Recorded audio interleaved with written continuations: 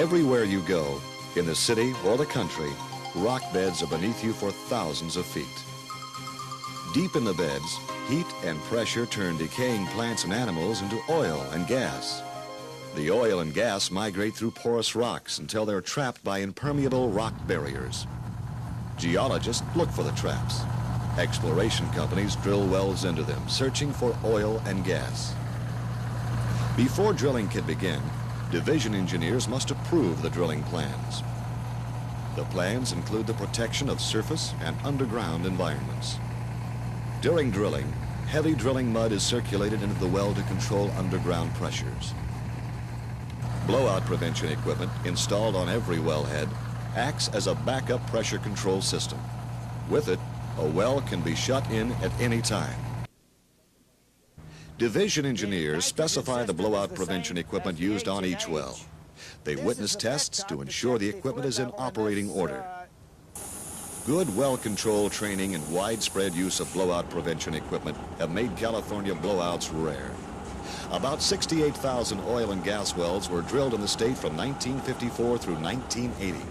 Only 31 blowouts occurred during this time, with little environmental damage.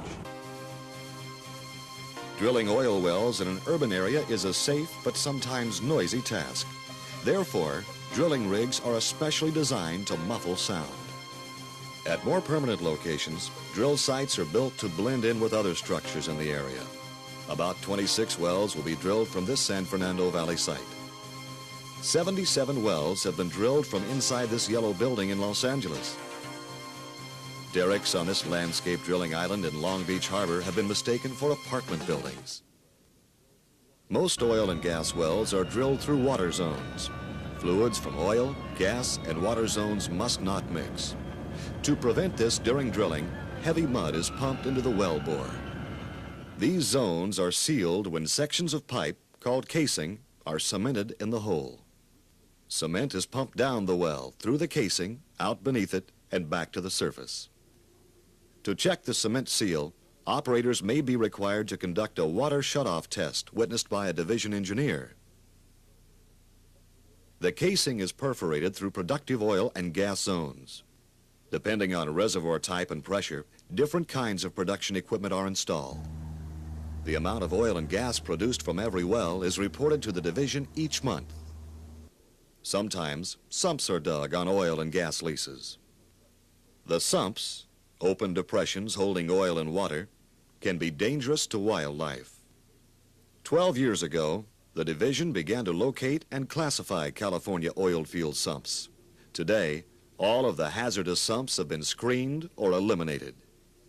Good housekeeping is encouraged at all oil and gas leases. This makes leases more attractive, safer, and environmentally acceptable.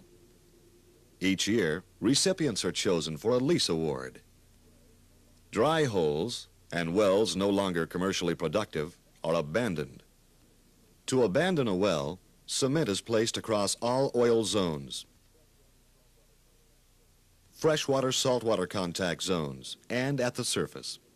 The rest of the well is filled with heavy drilling mud.